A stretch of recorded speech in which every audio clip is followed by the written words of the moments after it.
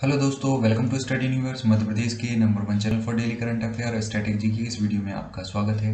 दोस्तों, इस वीडियो में हम जानेंगे महत्वपूर्ण संगठनों, महत्वपूर्ण नारे और देशों के बीच जितनी भी सीमाएँ उनके बारे में। दोस्तों, ये वीडियो आपकी सभी प्रतियोगी परीक्षाओं के लिए इंपॉर्टेंट है, चाहे वो ग्रुप डी का रेलवे का, दिल्ली पुलिस का एसएससी का सीजीएल एमटीएस या सीएचएसएल रेलवे का कोई एग्ज़ाम हो एमपीपीएससी हो या स्टेट पीएससी हो, इन सभी एग्ज़ाम के लिए मोस्ट इम्पोर्टेंट है।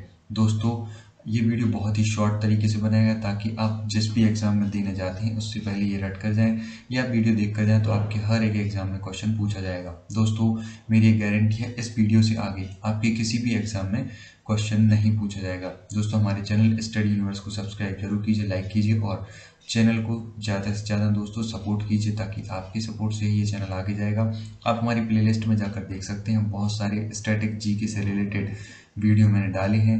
अभी और इसमें बहुत सारे वीडियो ऐड भी होने हैं। साथ ही दोस्तों राज्य वाइज भी हमने स्टैटिक जीके का वीडियो डाले हुए हैं वो भी आप देखें। सबसे पहले बात करेंगे महत्वपूर्ण संगठनों के बारे में। भारत में कौन कौन से महत्वपूर्ण संगठन बने हैं? आज़ादी से पहले उन सभी संगठनों के बारे में हम आज जानेंगे। दोस्तों किन ने कौन कौन से संगठन बनाए हैं? उनके बारे में इस वीडियो में हम जानेंगे। सबसे पहले बात करते हैं आत्मीय सभा की। आत्मीय सभा को राजा राम मोहन राय के द्वारा बनाया गया था। ब्रह्म समाज को भी राजा राम मोहन राय के द्वारा बनाया गया था। तो इन दोनों को राजा राम मोहन राय के द्वारा बनाया गया है। तत्वबोधनी सभा देवेंद्रनाथ टैगोर जी के द्वारा बनाई गई। प्रार्थना समाज, आत्मरंग, पांडुरंग इन्होंने बनाई थी। आर्य समाज की स्थापना स्वामी दयानंद सरस्वती ने की थी। दोस्तों, बात करते हैं नेक्स्ट रामकृष्ण मिशन की। तो स्वामी विवेकानंद ने इस मिशन की स्थापना की थी सत्य शोधक समाज की स्थापना, ज्योतिबा फुले के द्वारा की गई थी। विश्व भारती की स्थापना रविंद्रनाथ टैगोर जी के द्वारा की गई थी। फॉरवर्ड ब्लॉक सुभाष चंद्र बोस के द्वारा बनाया गया था। दोस्तों, स्वराज पार्टी जो है, वह मोतीलाल नेहरू, जो जवाहरलाल नेहरू के पिता थे, उनके द्वारा बनाई गई थी। खुदाई खिदमतगार अब्दुल गफ्फार खान के द्वारा बनाया गया।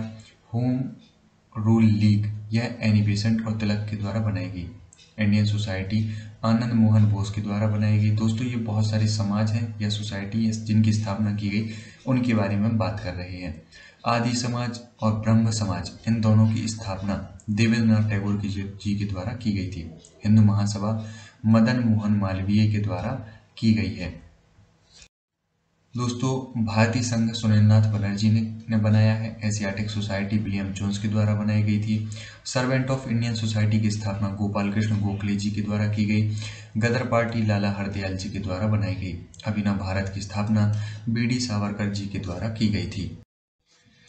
इसके अलावा कुछ और इम्पोर्टेंट हैं। मुस्लिम लीग की स्थापना सलीमुल्लाह खां के द्वारा की गई थी। खिलाफत आंदोलन अली बंधु के द्वारा बनाया गया था। वहीं आज़ाद हिंद फौज की स्थापना रास बिहारी बोस ने की थी। तो ये भी इम्पोर्टेंट है। दोस्तों, कई लोग इसको बोलते हैं, आज़ाद हिंद फौज की स्थापना सुभाष चंद्र बोस के द्वारा की गई थी, लेकिन ये गलत है। इसकी स्थापना पहले आज़ाद हिंद फौज, यानी इसकी स्थापना पहले राज बिहारी बोस के द्वारा की गई थी। उसके बाद उसमें जो कंट्रीब्यूशन किया गया था, वह सुभाष जी के द्वारा किया गया था, यानी सुभाष बाबू के द्वारा किया गया था। तो ऐसा है।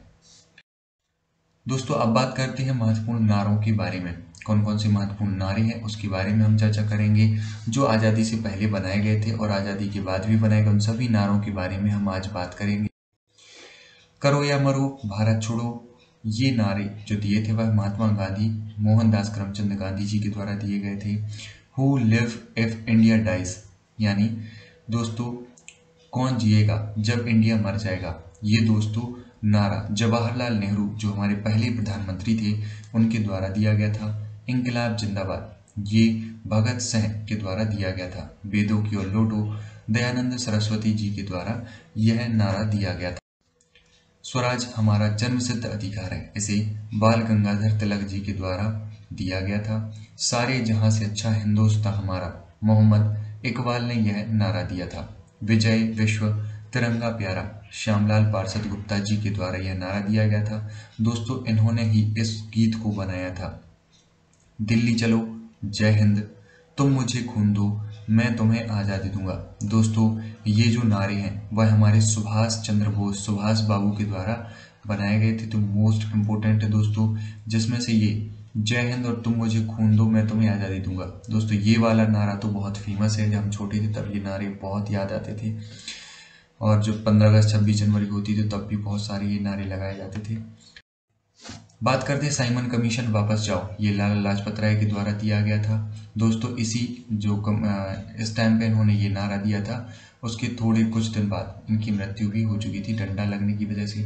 सरफरोशी की तमन्ना अब हमारे दिल में है। राम राम प्रसाद बिस्मिल के द्वारा यह नारा दिया गया था। बंदे मातरम को बंकिम चंद्र चटर्जी के द्वारा दिया गया है। इन्होंने ही राष्ट्रीय गीत को लिखा है।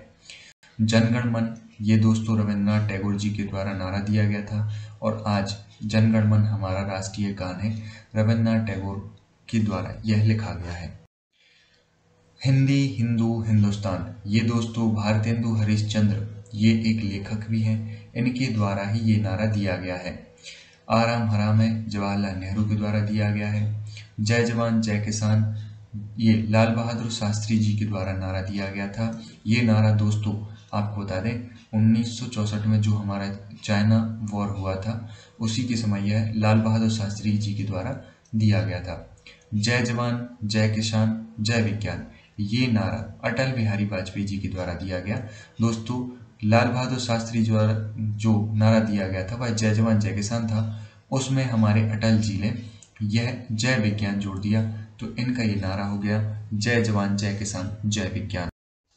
दोस्तों, इसमें अब हमारे प्रधानमंत्री नरेंद्र मोदी जी ने जय अनुसंधान जोड़ दिया तो ये नया नारा बन गया।